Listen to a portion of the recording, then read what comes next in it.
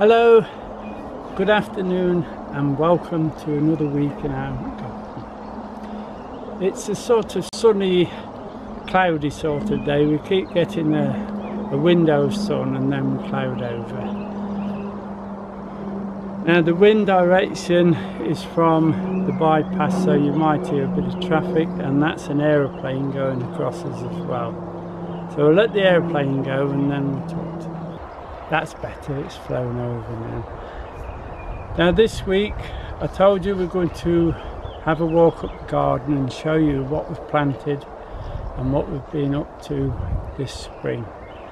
So we're going to start from the very bottom against the rhubarb and then work our way up the garden to the shed and where the grapevine is and show you all up there. Now this is the sweet corn, we're right down the bottom a little bit windy today down here but normally it's a lovely sunny spot. So I popped the sweet corn in. Now the four large ones at the back are the four that escaped the cold wind last time. The rest are all a reset. Beyond that there's a few of the leeks that we had left over. I didn't want to waste them so I put them in that little stretch there this is the rhubarb. It's picking up very, very well now. We've had a drop of rain and it really is growing well. We'll take another crop off it middle of next month, I think now. Now these are the pumpkins that are planted. That's the farmer's gas guns. Uh, these are the pumpkins that we planted. I've planted nine, they're all the same variety. As you can see, there's a little bit of wind burn on them but they were hardened up but the, because we're so exposed we get a little bit more wind. Now normally I grow the pumpkins in circles but because these this year are all the same variety I'm going to grow them in one big circle. It'll make watering easier and finding the pumpkins easier as well. It won't be one big mass, especially when you're watering to fight your way through. So there'll be a line of bottles just to pour the water in. Now I have set the squashes down the sides of the arch. There's quite a few of them and there's one at each end, what we call a spare, just in case. Now some are the spaghetti squash, some are normal winter squash some are hunter squash and some are the trombone squash what the granddaughter sent. That would be interesting to see what happens with those. They're all establishing nicely. I will put bottles between for watering to make life easier for me. And they seem to be settling down very well. They seem to be settling better actually than the pumpkins are. Now the courgettes I've planted down the bottom here. I've actually planted four two yellow and two green. That will be plenty for what we want. They're settling down nicely now. The yellow ones were reset because the mice ate them so they're a little bit behind but they'll soon catch up. Spare peppers we had from the greenhouse I brought down here to the bottom where it's nice and sunny or normally nice and sunny. So they'll be fine. They're picking up lovely and the winds had no effect on them at all. Now we're at the frame where we put the sweet peas. I've put a, a soft net on the top, although it is wire, it is very soft. So I've put that over the top and they're just latching on now and then there'll be a coming up. Again, they're doing rather well. I've took the bird protection off they seem to be leaving them alone at the moment. Let's hope it stays that way. They are just becoming into flower now, so we'll have some early flowers and then some hopefully when they get a bit taller. Now around the garden this year I've spot planted quite a few flowers. Just here we've got some sunflowers. They won't make much more height than what they're doing at the moment but they'll just pretty this up and if they do get seed heads on then we'll leave them for the birds or give them to the chickens. The apple tree is fruiting up nicely now. We might get a little bit of June drop towards the end of the month but we've got quite a few apples on. The leaves are looking well. I can't see any aphid or anything on the back. We have kept the grease bands well greased this year, but I've noticed there's been a lot of ants growing up them with aphid in the mound. So they're trying to get the aphid up there. But I think, fingers crossed, that we've stopped them. Now down here on plot D still, this is where we put the outdoor tomatoes. These really have suffered in the wind but they have started to pick up a little bit now. As it gets a little warmer, they'll soon be away and they'll be fine. The garlic is beginning to die back a little now, so that'll be out the way soon and then the tomatoes will take over. I have been busy putting the mulch on, as you can see over there, but at the moment I'm busier elsewhere in the garden and I just can't get to finish it. And we've got some rain coming the next few days so when it's had another good drench I'll try and get some more on. The tomatoes on this side of the plot are doing a little bit better. They've got a little bit more protection from the wind. The other thing to notice is that all the front row I've put the plum type tomatoes then they'll not need they're more of a bush so they'll not need a, a bigger cane than this. The back ones are a little bit taller We'll take them up to four or five trusses and that's it. We'll stop them at that. We're at the first of the frames. Now, unfortunately, this frame has been run through by the moles and they've really really pushed these plants out of the ground I've tried to put them back in best I can I did push the parsnips back in I don't know whether they'll take or not they seem to be standing all right. Whether they'll put on a root or not, I don't know. We'll have to wait and see. Now, between the two frames, we've got what we like to call the salad box. So, as you can see, I've got a few radish in there, a few red lettuce, and a few green lettuce, and also a few beetroot that was left over. So I put them in there. It'll bring them on a bit quicker and providing we don't get any moles coming in there destroying it they should do quite well now in the second frame if you remember we planted the first early potatoes. These are rocket. They're flowering now. Got lovely flowers on them. And I think it's time to lift the boiling to see how we're going to get on with them. What we'll do is just take a row and see what we get out of them, okay? If they're not quite ready in the small, we'll eat them, but then we don't want them too big because they are supposedly new potatoes. Now they're in mainly compost in these frames, so I shall lift them by hand, okay? So let's have a look what we got. Mm, we got one or two hopefully we can get a boiling out of it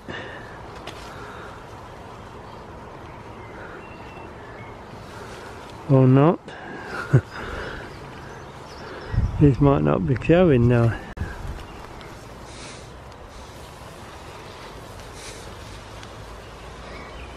Yeah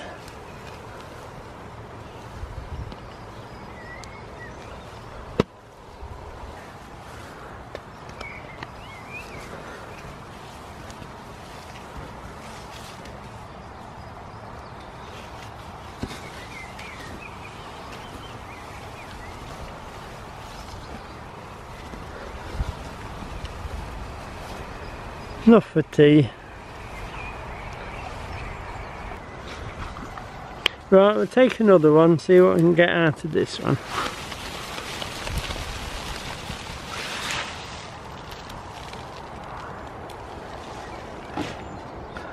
And see what we can get.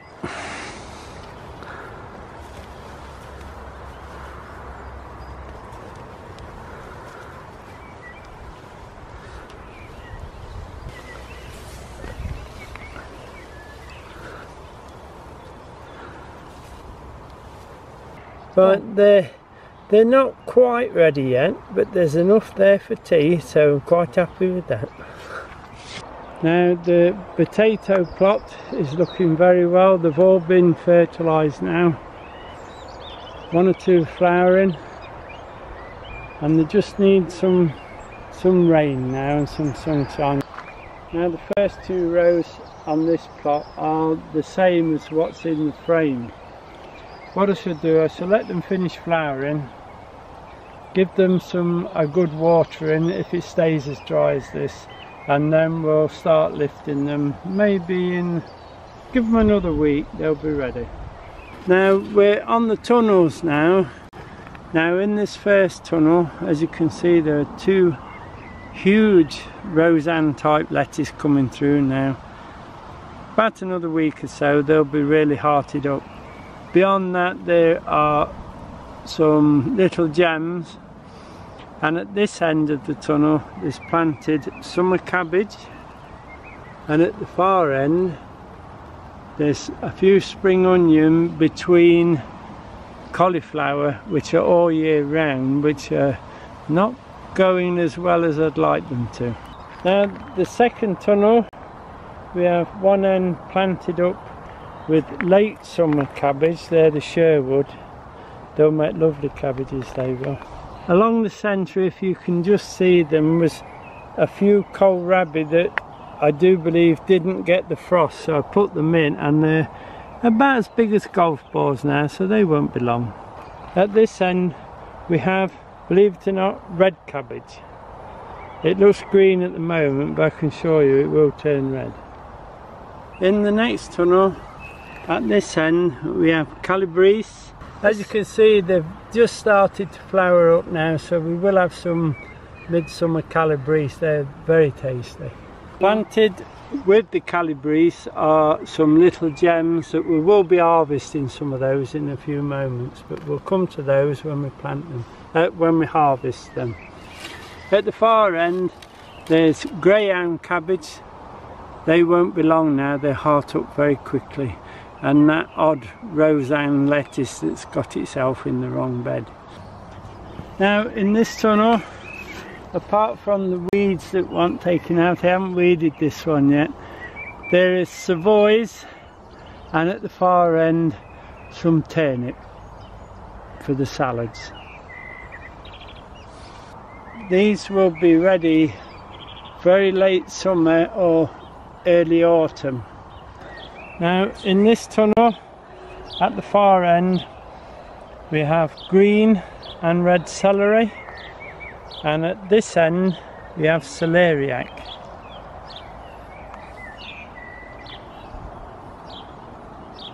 Doing rather well, very dry but they're doing alright. Now in this tunnel at this end if you can remember we planted the leeks and then in the centre of that there is kohlrabi. They're the second set because we lost the first set in the frost. And at the far end, there's just a little bit of celeriac that we had left over, so I just pushed that in the end. Now this tunnel, if you remember, is a little bit taller than the others and it's a double tunnel.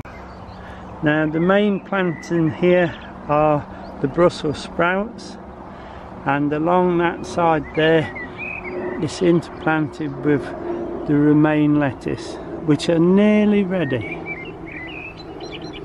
Also planted in here there's a few onions over the far side and some radish which are ready now which we will harvest in a few moments. Now we're on plot A and this is the beetroot. The two of the bigger rows there of what the girls sent of all the different coloured beetroot and then the far row and these two rows here are the Boltardy which are planted in groups. Beetroot seems to be doing very well this year. These are a few of this season's onions we planted. These are called rumba but we didn't have room on the other plot for them so I pushed them in just there between the beans and what would be the beetroot. I've also made a bit of a fence just to support the broad beans a little because as they put the beans on they'll get very heavy and they will fall onto the onions so to stop that I don't mind them falling on the path but I don't want them on the onions now I am watching out for the black fly on these tops it's only a matter of time before they start coming and then I should just take tops out as they get it and take them away and destroy them. These are the Japanese overwintered onions and as you can see they're, they're as good as ready now we can start using them so we will pull a couple when we start harvesting today and take them up to the house. These are the main crop onions they're doing very well. They had a bit of a battering at the beginning from the pigeons landing in them and taking off, but I think they're coming they're coming good enough now. They'll be fine. Now we're inside the net cage we made for the peas and the beans and now I'll show you how they're progressing along. They've literally doubled in size now since we planted them. They're all latching on to the wire and the net and they're all really away now. These beans are cobra along here and as you can see they started to send the runners up now. The beans on this side are Borlotti beans. As you can see they're just beginning to send their runners up now so they'll, they'll be up in no time. All the peas are the same this year, they're all alderman and they are doing rather well. Now we're working our way nicely up the plot and now we'll go into the fruit cage and then we'll look at doing some harvesting. While we're going past on this little bed behind the shed we have the clematis Nelly Moser and this is where we also grow some comfrey. Now we grow a patch of comfrey. We don't grow it to process it to make tea or anything for the plants. We grow it and leave it for the bees and then when it's finished flowering we put it into the compost bin. The cherries are coming not such a heavy crop this year but we will have cherries Now these are the two blueberry bushes. We keep them in this raised bed. As you can see there's quite a few on them this year. Every time I go to town, or the garden centre shall we say, I pick up a bag of ericaceous compost and tip it in there. So it's taking quite a while but we will fill that box with ericaceous eventually. The gooseberry bushes are doing very well this year. The far one is a red one. They're just beginning to colour a little bit but we need some rain now to swell the berries. As you can see there's quite a few berries on them but they just need a little bit of rain now just to just to swell them up a little. These are the red currant.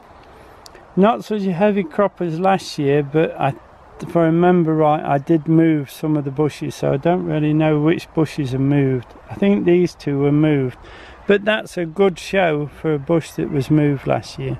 This one I moved to this position. This is actually a black currant. That is a gooseberry that I moved. I don't expect much from them this season, but next year I do. But saying that it was moved and I don't take much from it. As you can see, it is still trying to throw a berry or two. Now, these are the new raspberries that we planted last year. As you can see, they're, they're earlies or summer raspberries. And now they're just beginning to show fruit. Again, a little bit of rain just to swell those berries would be nice. We're not expecting a lot because the summer flowering ones, remember that the, as soon as these are finished fruiting, we'll cut these off. These ones that are coming up now, we'll tie those in and these are next year's summer crop. So we'll let these come in. There's quite a few coming up. We'll tie these in when we've cut those off when they're finished fruiting. Now these strawberries here are in fact all the strawberries we've got are all a new crop. They're three years old this year so we can let them fruit this year. If you remember last year we took all the fruit off to strengthen the plant. We've got quite a bit of fruit coming. We'll lift a few what are ready to show you that we are harvesting. The other thing is I've got one or two runners coming off them. So I'll show you in a moment that I've actually planted some of the runners into pots and then I'll keep those so they'll follow on and thicken up these strawberry beds so we get a really strong strawberry bed producing a lot of fruit. These are some of the runners that I potted.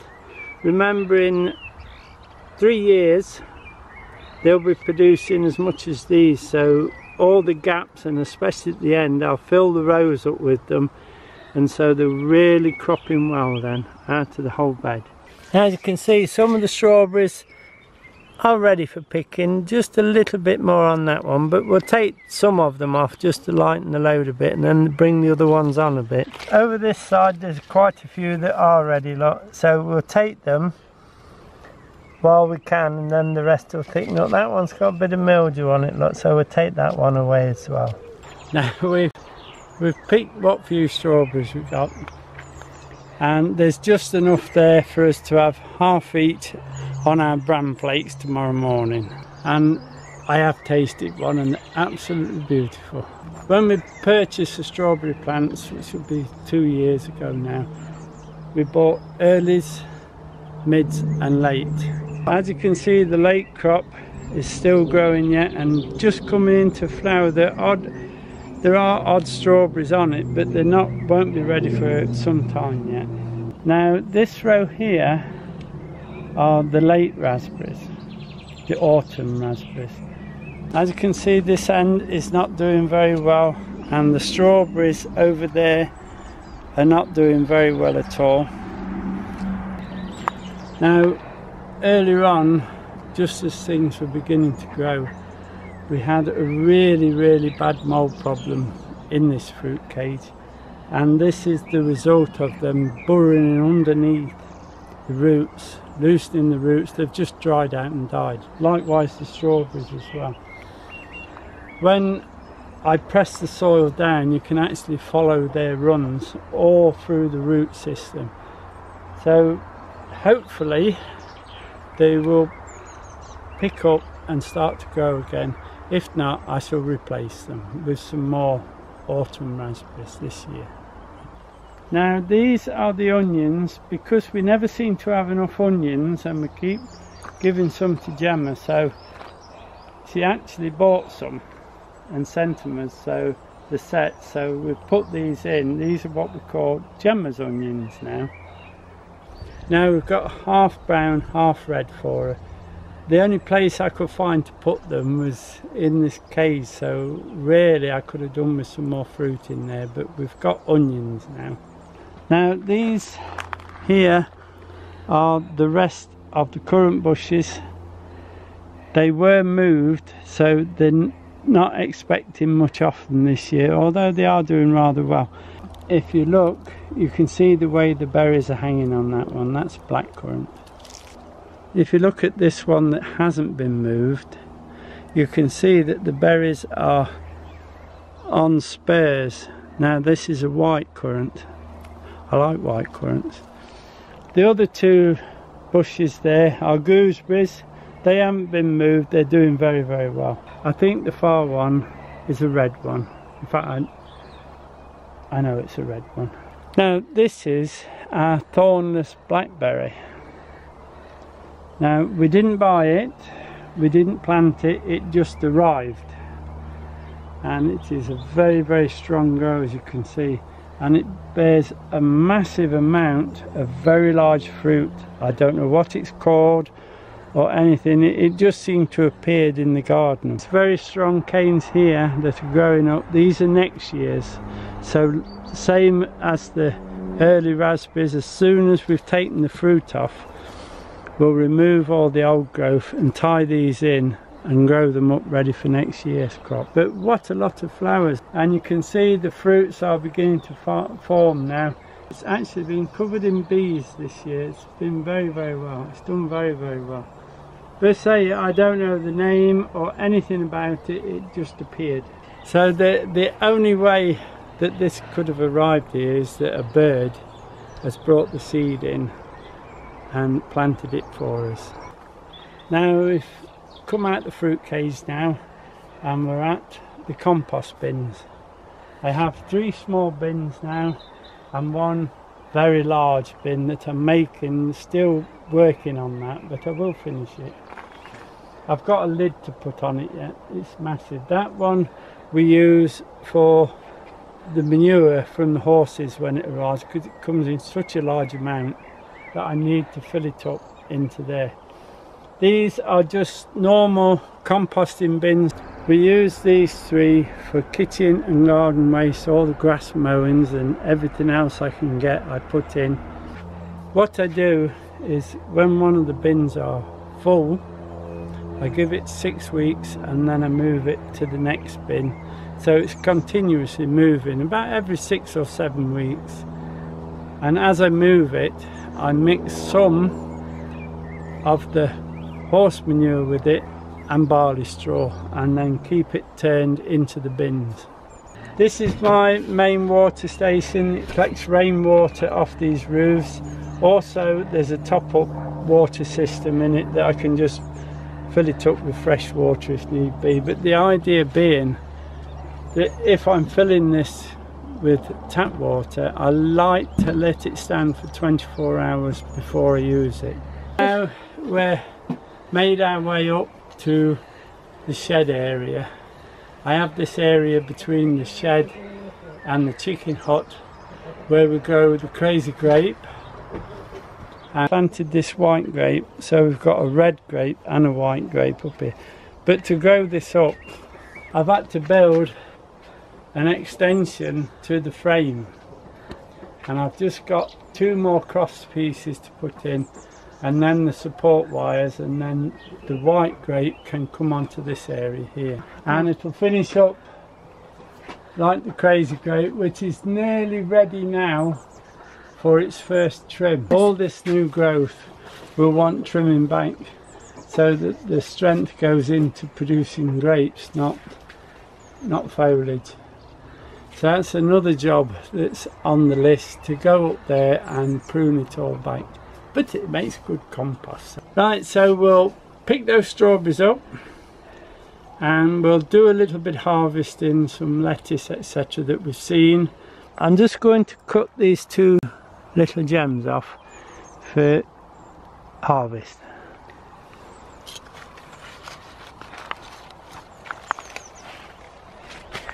There's one.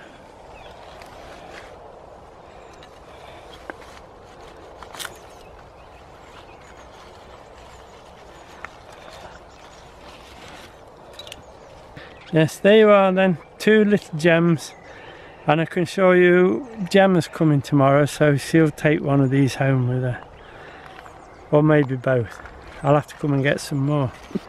Now, although I've just cut the roots off, when I come down to water it tomorrow, I shall actually dig those roots up and take them away. I don't want to leave old roots in there rotting, we start to get all sorts of funguses growing. A few onions here, I'm just going to put the knife under them and loosen them a bit because they might, if you pull them in this hard ground you just break tops off.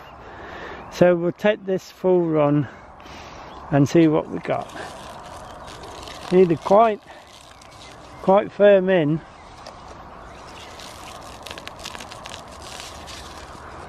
Then we'll give them a wash and show you.